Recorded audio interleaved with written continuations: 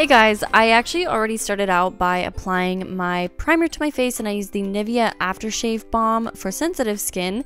And for my concealer, I'm using first my MAC Pro Longwear Concealer and I'm just applying that to any area around my face that's a little bit red and I think needs a little bit more coverage. And then I'm just blending it out with my Beauty Blender.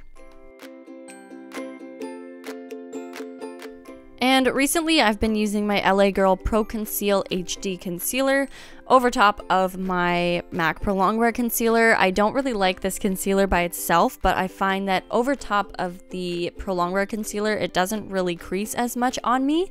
So that's what I've been doing recently, and I just use it to brighten up my face a little bit. And then for my foundation, I'm using the CoverGirl Outlast Stay Luminous Foundation, which is new. This was the first time that I used it, and I really like it so far, and it definitely gives a little bit more of a I don't want to say dewy finish because it's not like dewy, but it's definitely luminous. It has a little bit of shimmer in it, which I actually think is really nice.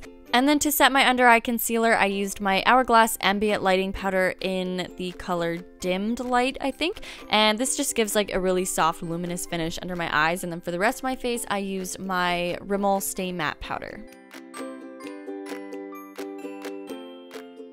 For my eyebrows, I used the Annabelle Skinny Brow Pencil, and this is in the color Universal Taupe, I believe, and I just brushed it through with a little brush on the end and then just kind of filled them in pretty casually. I didn't do anything too crazy. This is pretty much just what I do. I just like to fill in any sparse areas and just give a little bit more definition to my brows, and then I just set them with my clear lash and brow gel from Essence.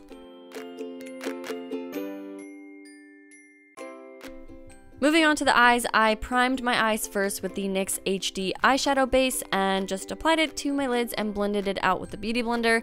You can use your fingers for this, of course, but I just like to do this recently. And then I powdered it a little bit with my face powder to set it and also to make the eyeshadows that I'm going to use a little bit easier to blend out. And I will be using some eyeshadows from the Naked 3 palette from Urban Decay, and I'm just taking this lighter, soft, matte, purpley pink color and just putting that right into my crease and buffing it out to make it really soft. And then I wanted to darken up the outer corner and my crease with the darker kind of matte purpley pink color. And yeah, I just put it to my outer corner and then buffed it into my crease a little bit.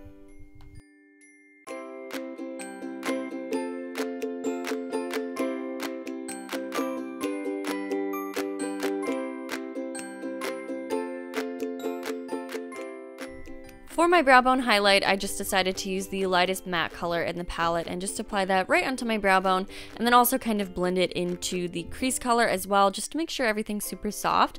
And then for my lid color, I used this shimmery gold and this is kind of just a base because I'm actually going to be using a like liquid pigment eyeshadow and this is the coconut water eyeshadow from Josie Maran which is actually like one of my favorite products ever. It lasts a really long time and it's so beautiful. I think this is called called like rose gold or something like that actually. So it's kind of perfect for this look. And I just used my fingers to apply it so that it's a little bit more controlled. And then I blended out the outer edges of the crease a little bit.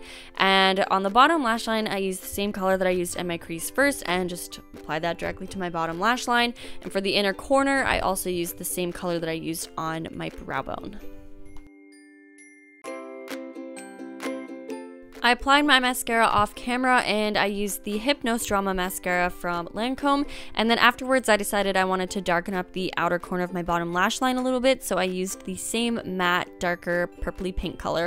And then for my blush I'm using Exposed by Tarte. And then just applied that like I would normally with any other blush straight to my cheeks. And I decided I want to do highlight. I kind of don't ever like not do highlight anymore. It's kind of like a must do for my any makeup look. So I use Champagne Pop, of course, from Becca and Jaclyn Hill, and I just applied that to my cheekbones and then a little bit on the Cupid's bow of my lip. And then for my lip color, I used ColourPop shimmy I think it's called and I just applied that to my lips and that is the whole finished makeup so I hope that you guys really liked it please make sure that you subscribe to my channel and give this video a thumbs up if you liked it and also leave your video request below and I will see you guys in my next video